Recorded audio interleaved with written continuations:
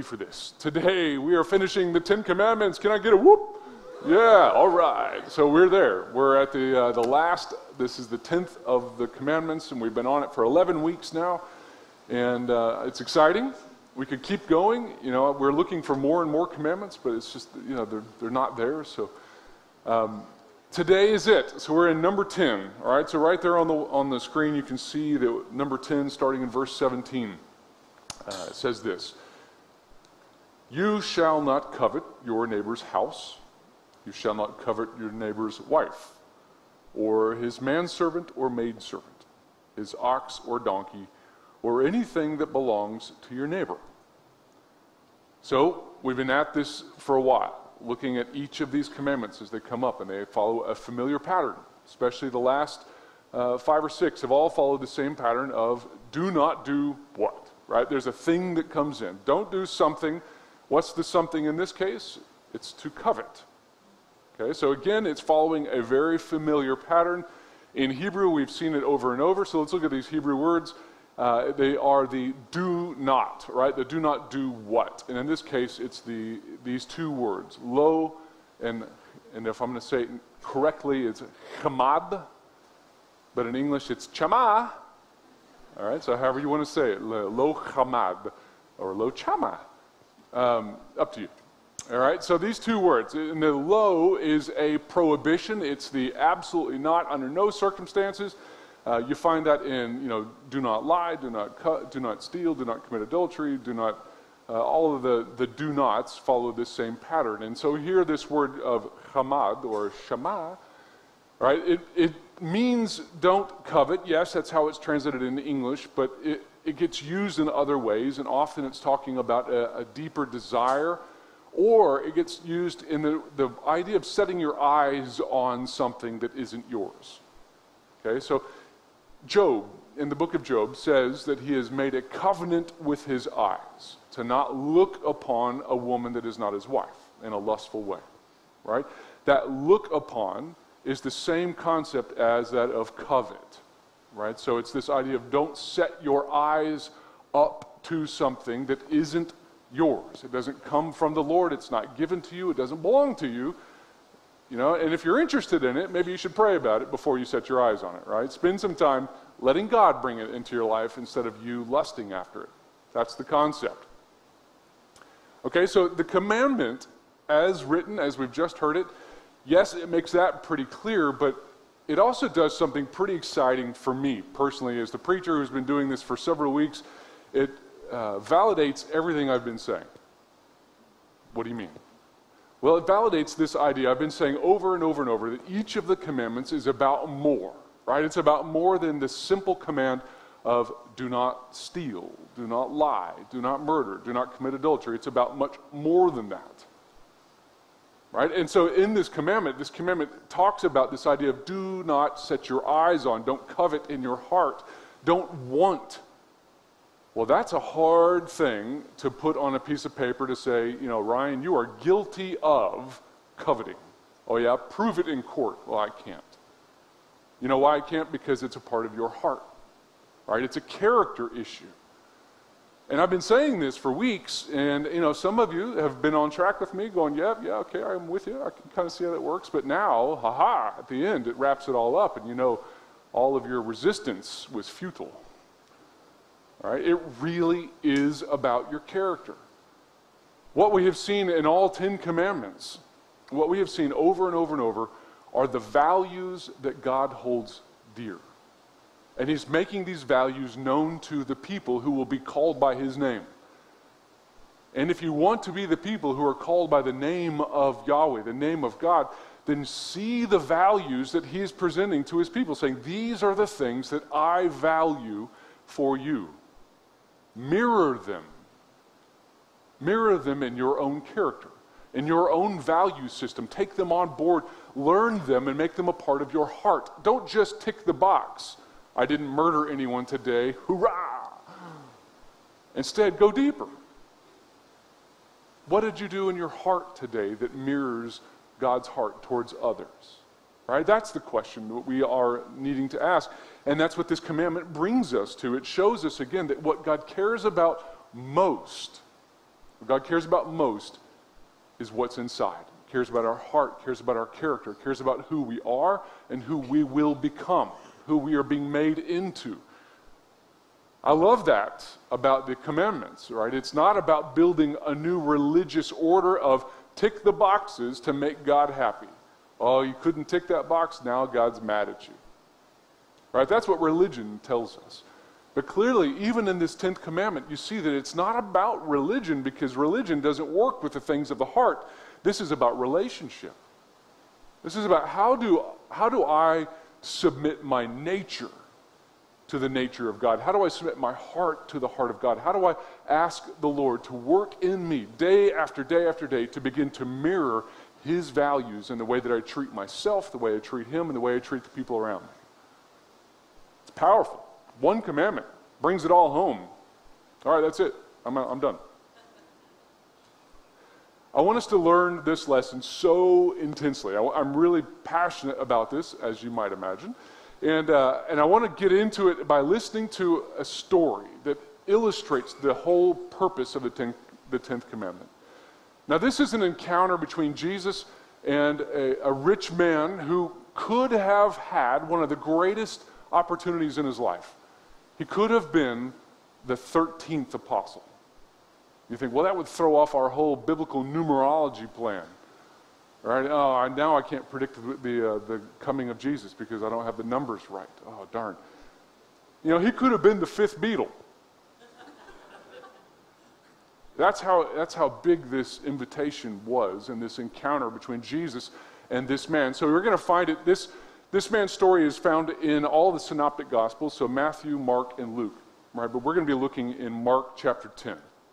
So, Mark chapter 10, starting in verse 17 we're going to hear this encounter between Jesus and what is sometimes called the rich young ruler, but in this case, we just know him as a rich man. So, Mark 10 17 says this As Jesus started on his way, a man ran up to him and fell on his knees before him. Good teacher, he asked, what must I do to inherit eternal life? Why do you call me good? Jesus answered. No one is good except God alone. If you want to know what that's about, it's all about identity, right? Jesus is saying, Who do you think I am? Okay, look at verse 18, uh, sorry, verse 19. You know the commandments do not murder, do not commit adultery, do not steal, do not give false testimony, do not defraud, honor your father and mother. Teacher, he declared, all these I have kept since I was a boy. Jesus looked at him and loved him. One thing you lack, he said. Go, sell everything you have and give to the poor, and you will have treasure in heaven. Then come, follow me. At this, the man's face fell. He went away sad because he had great wealth.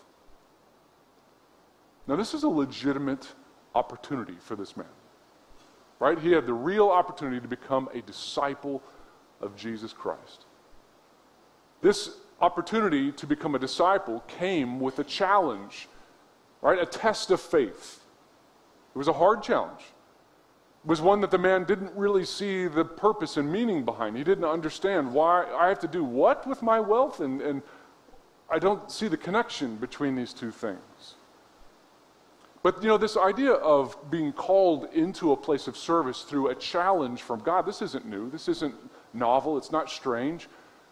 The apostles themselves, we, we've heard about many of their encounters with Jesus and how they were called into a place of testing before they said yes to Jesus and before they stepped out in faith. They had to practice their faith. They didn't just say they believed, they had to do something about it in order to start this journey with Jesus. Think about it when, uh, when Jesus met up with Peter, James, and John, and there was Andrew around the corner, and they were all out doing some fishing. And Jesus said, I'm going to get in your boat. We're going to push offshore. He gave a great teaching. He said, Now let's go out and go fishing after you've been out all night, haven't caught anything. Oh, yeah, joy of joys. But the guys did it, right? Maybe out of respect because he was a, a well known rabbi, so you just want to do the right thing. Maybe that's not about faith, so they go out in the water. And while they're out there, in the middle of the day, which is not when you're supposed to do fishing, uh, you're out there in the middle of the day. Jesus says, Now, I want you to throw your net on the other side of the boat. If you've ever wanted to know what that means, I, have experienced enough fishing failure in life to be a, a legitimate expert on this. You see, the, when the currents are flowing, right, going this direction, that's my hula. All right, when they're flowing this way, you throw your net out and you pull back against the current, and the little fishies go, ah, Can't swim away. They get caught, and then they become lunch. Right? It's very simple. A net fishing is probably the easiest and should be, for most people, the most effective way to fish. I've tried it a lot. I, I catch nothing. I did catch a boot one time, so that was fun. Not a German boat, uh, a boot. But when you throw on the other side, right, the river's going this way, and you throw that way, and you pull with the current, what's going to happen to those little fishies? They're going to be like, whatever, man, mm, swim away. You catch nothing. Maybe that has been my problem. And so Jesus is doing something really that defies logic, it defies physics, it defies everything that a fisherman knows. And these guys were in a crucible uh, of faith. They were in a place of a crisis. They had to decide do we do what this crazy rabbi tells us to do? Or do we tell him, you know, look, man, it's been a long night, we're rowing back to shore? But they passed the test, right? They said, okay, well, what the heck? Let's just do what he says we trust that he is somehow or another, he's got a plan here. And there's some good that can come out of this. And so they throw it on the wrong side, and lo and behold, they catch the biggest haul that they've had in a very long time. And so they pull that all on board, and they're all amazed. And in that moment, with the fish all around and all the guys are all excited, Peter, he responds to this event by recognizing Jesus, not the miracle. Right? Everyone else is excited about the miracle. Peter recognizes Jesus. He falls on his knees in front of Jesus and says, Go away from me, Lord, because I am a sinful man. So Peter's faith is made clear through his repentance. His acknowledgement I am a broken man, I am a sinful man. I, I shouldn't be in the presence of the King of Kings. And Jesus replies to him and to all that are listening, He says, I will make you fishers of men. I, I, from now on, don't be afraid. From now on, you will be catching men. You'll be catching people with the rest of your life. And then I don't want us to lose the fact that they load all their gear up, they come back to shore, they unload everything, they sell off the fish, they do all the stuff that they have to do. And the, all of these men, all four of them that are involved, they all walk away from their boats, from their capital investments, from their careers, from their future financial security. They walk away from their family of origin that had always lived in this village. And they, they become disciples of Jesus, going where Jesus goes, doing what Jesus tells them to do. See the change that happens in them. They face the crucible of faith, the crisis of faith, and you might look at that and think, what a weird thing for Jesus to do. But these guys understood that this what Jesus is telling us to do is so outside of what we think we should be doing. This is a real test for us. We're going to say yes to God, even if we don't understand the other side. They received a blessing for sure, but more than that, they became disciples. Right? The call to discipleship comes with a call to action. And that's what we see with them. And so, if we go back to Jesus encountering with this rich man, we see that the rich man didn't understand what was going on for him either. So let's walk back through his story for a second. So, this rich man, he knows that Jesus is going to be passing by. And it says here that he runs up to Jesus. Right? He runs up to him, falls on his knees in public in front of Jesus, and begs Jesus to tell him, How can I inherit eternal life? You know, if I, if I saw you at the shops after church today, if you went for some lunch and you see me on the other side, and I run across the shops towards you, beeline, right at you, what are you going to do? You're going to get nervous. even if you recognize me, even because you recognize me, you're going to get really nervous. All right? If I run straight up to you and I fall down on my knees in front of you, in front of the, everybody at Big W, And I'm, I'm begging you, you know, grabbing hold of your pant legs. I'm just like, I'm begging you to buy me a Coke, no sugar. I mean, that's weird, right? That would be so strange and so desperate in our culture.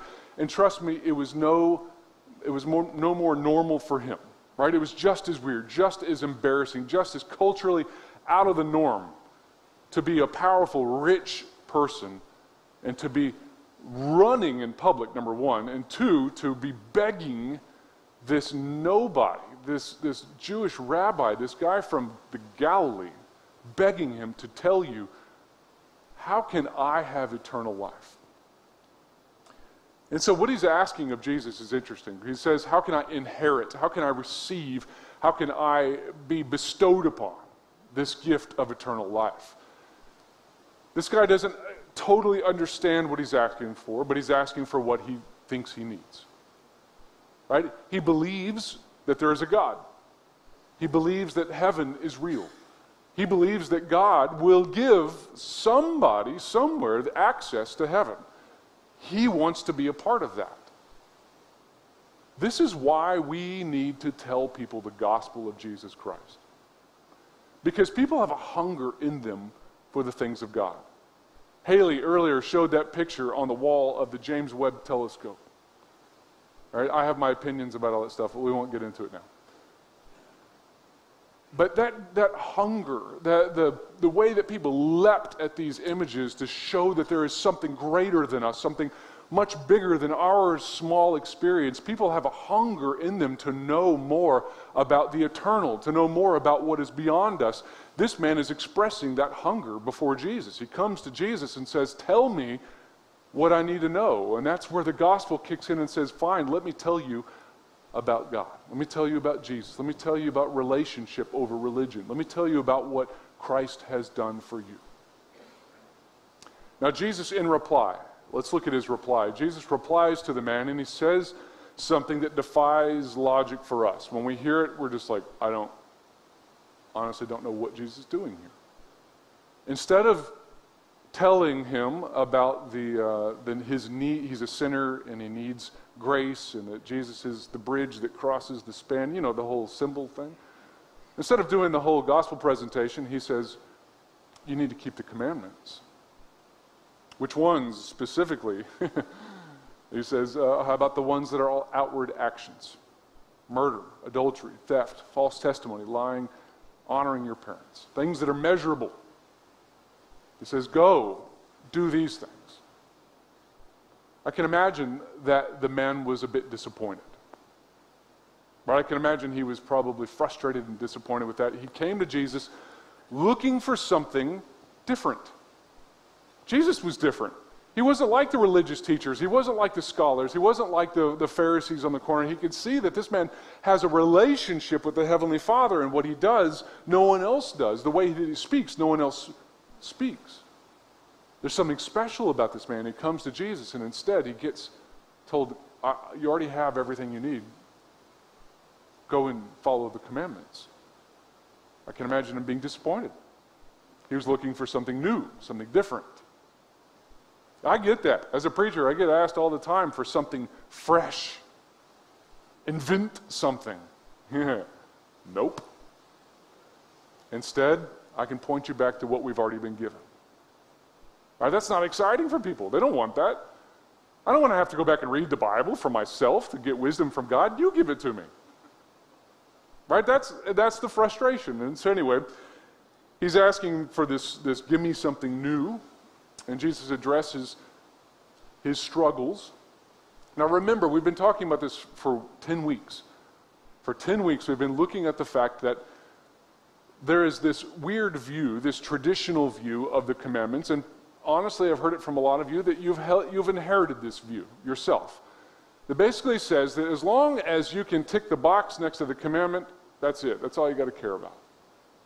You know, do I worship more than one God? No, tick that box. Do I, uh, do I worship idols? Mm, nah, nah, tick that box. Do I use God's name in vain? I mean, not seriously, occasionally, but nah, nah, we're going to tick the box anyway. Do I take time out to be in church? Well, preaching to the choir. Yeah. Tick, tick, tick, tick, tick, tick, tick. Everybody gets, everybody gets a tick today. You know, do you honor your family? Yeah, enough. Yeah, I'm close. I, I do what I can. Tick. Have I killed anybody? Nah, nah, nah, I'm good there. Have I lied? Well, not much lately, so to have to. Or how about stealing? Right, how, how about adultery? Ooh, nah. All right, so we're going to take that for today.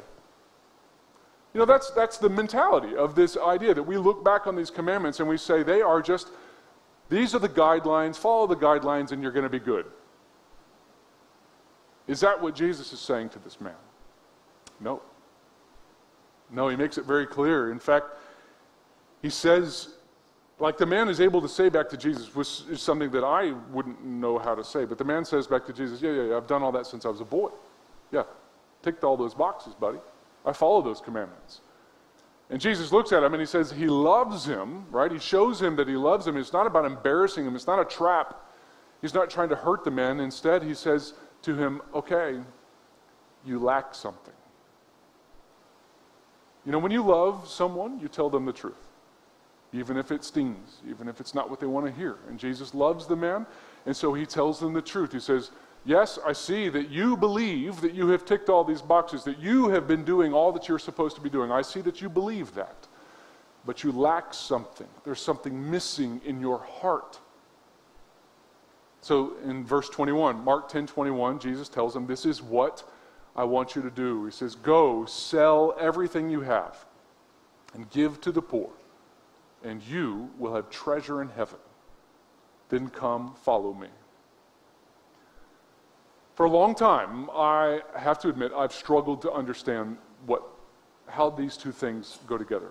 The man seeking relationship with God, and Jesus calls the man to go and sell everything he has and give it away to the poor. The way I, I don't understand them, and I haven't understood that, is because I look around and say, well, obviously, maybe this is everyone needs to have the vow of poverty, right? So surely Jesus must have told a lot of other people the same thing, except that I don't find it anywhere else.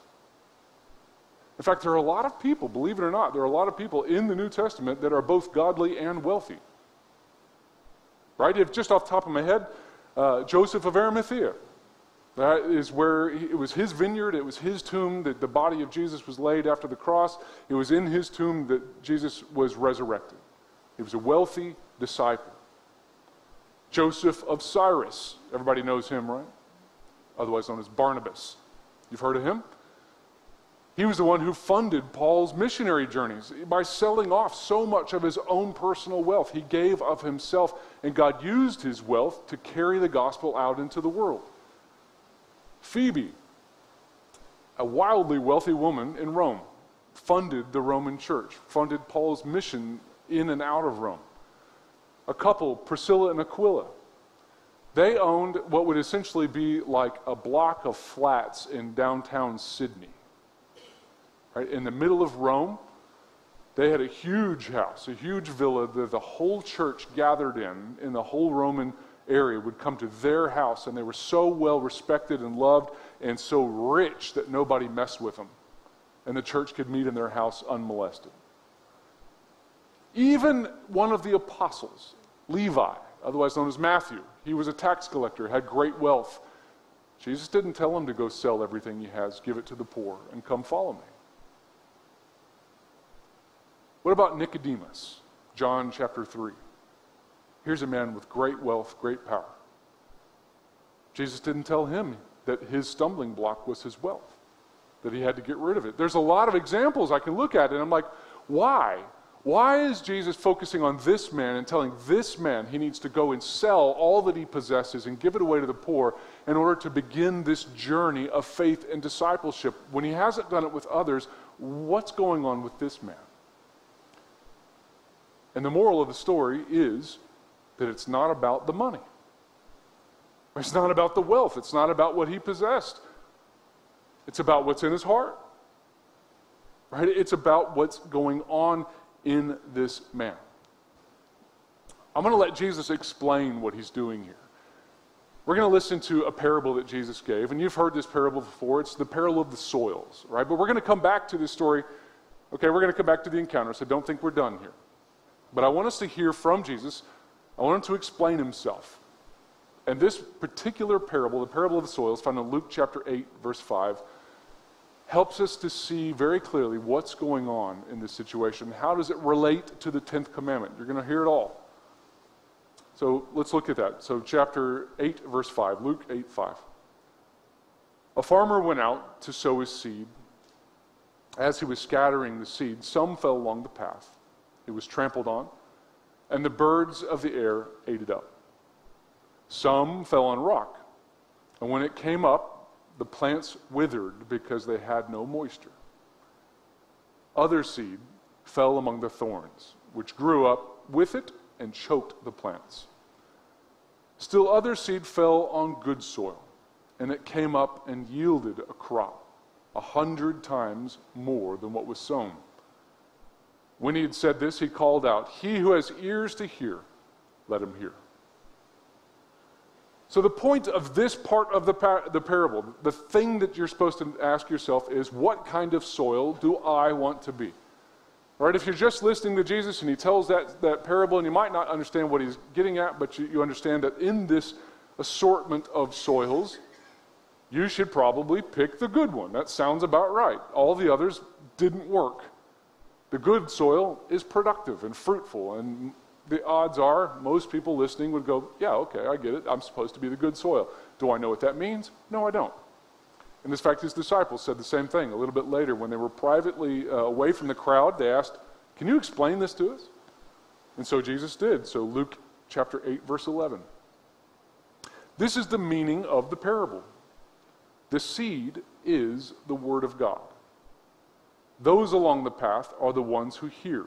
And then the devil comes and takes away the word from their hearts, so that they may not believe and be saved. Those on the rock are the ones who receive the word with joy when they hear it, but they have no root. They believe for a while, but in the time of testing, they fall away. The seed that fell among the thorns stands for those who hear. But as they go on their way, they are choked by life's worries, riches, and pleasures, and they do not mature. But the seed on good soil stands for those with a a noble and good heart, who hear the word, retain it, and by persevering produce a crop. Now, I have spent a long time in the past on this parable. I'm going to get straight to the point. What is the idea being given here? Jesus says the seed is the word of God. What does that mean? Well, the Word of God is the written Word of God. It's also the Word that the Spirit speaks to us out of this Word. The Spirit of truth has been given to us as followers of Christ to take what God has given in His written Word and make it real and applicable to our lives. And the Word of God is the person and the example of Jesus Christ, our Lord. Okay, so the Word of God is all that encompasses of, of who God is as you understand it, as God gives you his wisdom and his truth, that's the seed falling on the soil. So you have these soil types, all right? The first is the hard soil. And on the hard soil, the seed bounces, the path just bounces off. Now, a lot of people do a lot of focusing on the fact that it says, oh, the devil comes away and takes the word away from them. Well, you know what? It wasn't going to get in anyway. Right? When your heart is hard toward the things of God, it doesn't matter if it's a bird or the devil or your sister that comes along. You're not going to accept what God tells you. Right? That's his point. When you're in a place where you don't you don't want to hear it. You don't care what God has to say to you. You're not interested in the things of God because either you're hurt or you're offended or you're in a place of trial or you just don't want to hear it anymore. You're sick of it. Right? Your heart is hard. Then he talks about the rocky soil. Okay, these are those, and you know, we all have been in each of these places at different times, right? If, if that weren't true, Jesus wouldn't be telling you about the good soil to get you to move to the good soil. Right? If it was a description of this is who you are and you'll never change, it would be a different, this, this doesn't work. Come on, understand the parable. And so here's the rocky soil. These are the people that hear the word of God, all right? So something happens in their life. They go to church, they're in a worship service, they go to a camp, they're at a retreat, they're listening to worship in their car, and something from God comes in and it makes it into their heart, and they're like, Yeah, I love this. Emotionally, I'm charged, I'm happy, this pumps me up, gives me joy, I'm on a high with Jesus. But then you come back home, you go to work. You know, you've got a little baby who doesn't sleep all night long. The next morning you get up, there's no high, there's no joy, there's no fun, the emotions are gone, and so is the Word of God. You don't apply it to your life, you don't follow through on it, it's gone because the emotion is gone. And he talks about the good soil, right? The good soil is there. These are the willing. One of the things we talk about in church all the time is that our church exists for the willing. Right? If you're in a place where you are willing to receive from God, you are willing to invest in your own spiritual journey, you're willing to become a disciple, to step out in faith, you will grow. We can't make you grow. You have to be the good soil. You have to be willing to embrace what God is doing in your life and to seek to turn over those things in your life that are not, not good for growth and to get rid of the stones and get rid of the junk. Break up that hardened soil in your heart. All right, and those who are ready for that and willing, you're going to produce an incredible harvest of righteousness. Not a harvest of blessings, not a harvest of miracles, not a harvest of riches, but of righteousness. You will be seeking the things of God, doing what God wants for you to do because you want to do it. That's what the good soil looks like.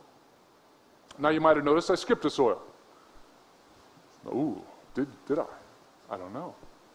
Let's look at verse 14. The seed that fell among the thorns stands for those who hear, but as they go on their way, they are choked by life's worries, riches, and pleasures, and they do not mature. What happens? You receive what God has given you, you take it on board, it even begins to grow, but it never matures. What does that mean? That means we hear the things of God, we hear the message of His Word, we're engaged with worship, we're engaged with God at some level, but we don't apply it to our lives in such a way that it starts to take root in us and we begin to change, producing fruit. We don't mature. Why don't we mature? The 10th commandment is why because of covetousness, because of our lust for the things of this world, because of our desire for the stuff around us that isn't from God. That is the weed, right? That is the thorn. That is the thing that's growing up around us, and it chokes out the life and it pulls us down. The pleasures of the world, riches, and our own interest in our own fame, our status in the world. These are the things that make us struggle, that make us immature. So we go back to the situation between Jesus and this rich man. Listen again. All right, we're going to listen again. This is Jesus' reply to his claim to have kept the commandments in verse 21.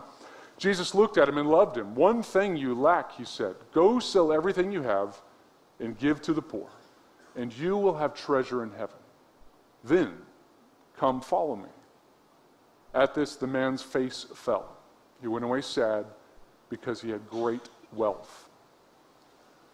He went away sad, not angry. He didn't go away shaking his fist at Jesus and saying, That nut job, what a crazy man. I can't believe he would say that. That's nuts. Instead, he went away sad because he recognized that his love was for his wealth. He saw very clearly. He was exposed. The Word of God exposed him this is not a call to reject wealth. It is a call for this man to see that he is coveting the things of this world, that they are the thorns wrapped around his heart, and they are choking out the love and the life that God wants for him. He will not mature in his faith. He will not take that step of faith and put it into action and become the man of God that he is intended to be, the disciple that he could be. And the reason why is because he can't keep the 10th commandment because of his covetousness. His lust for the things of the world was greater than his interest even in eternal life. His love of the things of the world is greater than his love of salvation. And so, because he was covetousness, because of his covetousness, because he was coveting, and he coveted, he did all of those things. Because of all this, he turned his back on Jesus. I mean, see it.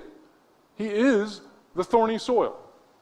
He is the embodiment, he is the living embodiment of what Jesus taught in that parable of the soils. He has had the life choked out of him by his love of the things of this world. And now I have a sad comment for you. It's the close of our series. It is. It is. I know. Tears. Tears. I want us to close by listening to a passage I've, I've brought up several times throughout the whole study. And it, it needs to be where we finish. It comes to us out of Deuteronomy chapter 4, verse 23 to 24. Be careful not to forget the covenant of the Lord your God that he made with you. Do not make for yourselves an idol in the form of anything the Lord your God has forbidden. Verse 24 For the Lord your God is a consuming fire, a jealous God. God's love for you is not casual, it's not occasional. God loves you in all circumstances. Even when you are unlovable, God loves you. Not just when it's easy, when you're doing the right stuff, but even when you're in the place of absolute, abject failure. God loves you. God's love for you, see it. He is jealous for you. And He is a consuming fire. He will not stop pursuing you because He loves you. Our response to that kind of love needs to mirror the love of God. Our love for the Lord cannot be casual and occasional. We can't today decide, I love the Lord, but tomorrow I love my wealth and my status, and I will reject Christ. That's not what love looks like. See the love of God, see the unconditional, all consuming fire of God's love that He has for you. And in response, you need to see that it's time for you to be all in with Jesus. Let's pray.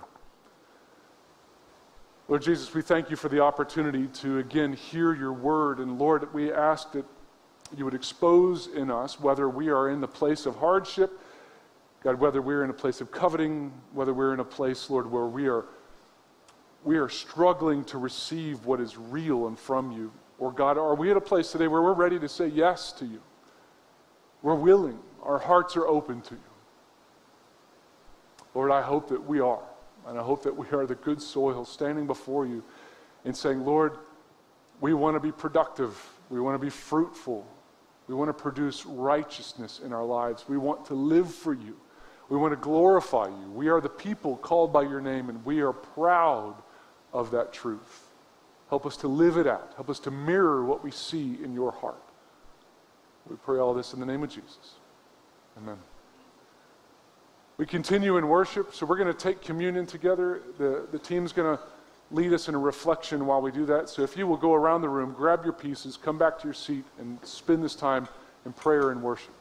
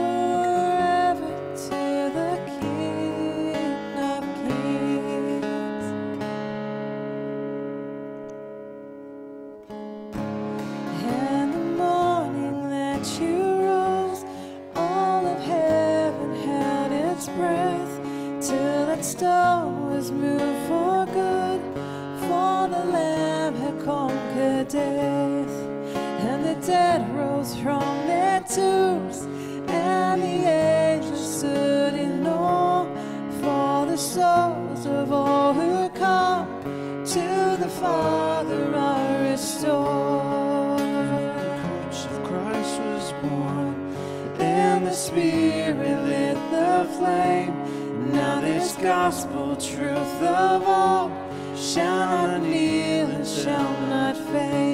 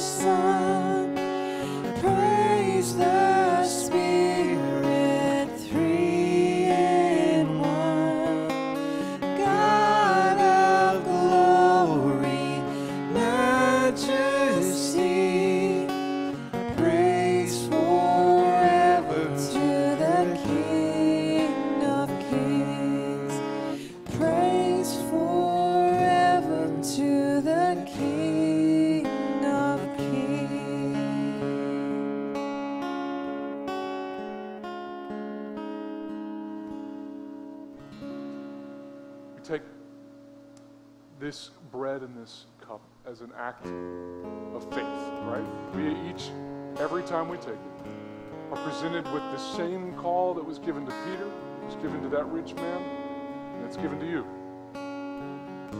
What stands between you and your obedience to Christ today?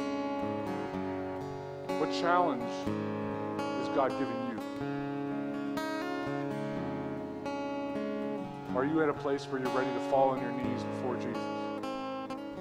To say, You are the Lord, and it's because of you I am saved. It's because of you I have been forgiven.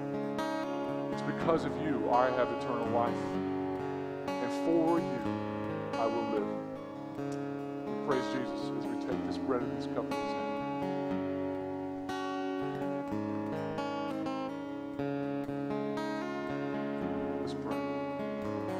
Lord, as we go out from this place, Lord, help us to go looking deeply into your heart and seeking to mirror what we find.